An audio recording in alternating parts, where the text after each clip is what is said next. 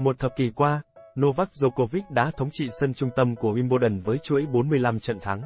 Thế nhưng, thành tích đáng ngưỡng mộ của tay vợt 36 tuổi người Serbia đã chính thức bị chấm dứt bởi tay vợt trẻ chỉ mới 20 tuổi Carlos Alcaraz trong trận chung kết đơn nam khuya 17 tháng 7. Trận đấu diễn ra hấp dẫn với màn rượt đuổi tỷ số đầy hấp dẫn khi cả hai tay vợt thi đấu giằng co, kịch tính và kéo nhau vào ván thứ 5 để phân định cao thấp.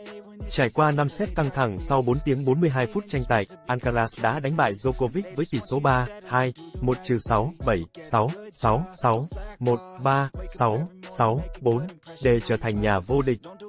Chia sẻ sau trận chung kết Wimbledon 2023, Carlos Alcaraz cho biết, Tôi đã hoàn thành được giấc mơ của mình. Như tôi đã nói, tôi sẽ vẫn tự hào về bản thân mình ngay cả khi để thua ở chung kết Wimbledon.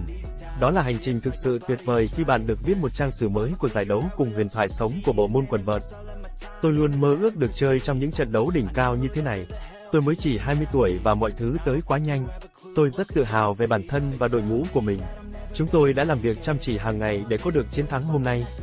Chiến thắng của Alcaraz hoàn toàn xứng đáng, với nền tảng thể lực dồi dào, tay vợt người Tây Ban Nha đã chiến đấu không biết biết mệt mỏi để đánh bại tượng đài 4 lần vô địch liên tiếp Djokovic.